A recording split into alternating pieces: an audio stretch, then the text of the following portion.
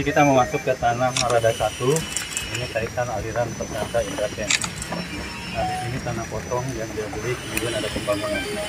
Jadi tempat saat ini kita akan pasang plang untuk tidak dialihkan ke pihak lain.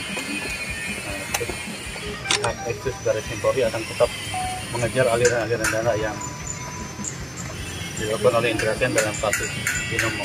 Jadi sampai sekarang kita masih menelusuri orang-orang dan aset-aset yang digunakan melalui Indraken. Jadi ini kita ada temukan lagi yang satu untuk di alam Suta BC yang kemarin kita waktu di Medan.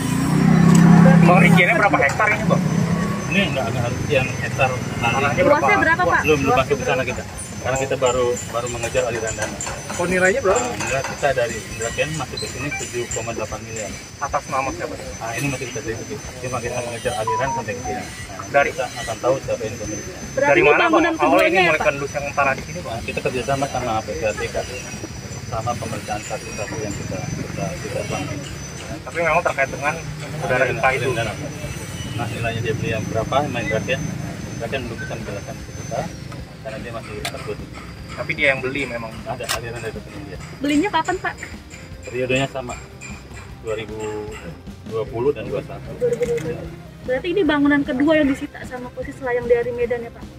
Ya keempat. Keempat. Totalnya berapa pak? Kalau boleh tahu. Total Aliran dana masuknya 7,8 miliar. total semuanya pak yang udah disita.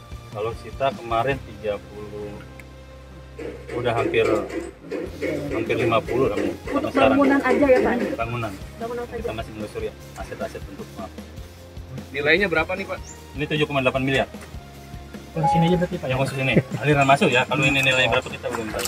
Karena Kita dalam tapi memang mau rencananya mau dibangun rumah di sini. buktinya ada pembangunan yang masih Target selanjutnya apa yang disita lagi pak? kita masih menelusuri. Masih menelusuri aset-aset yang, yang berjalan.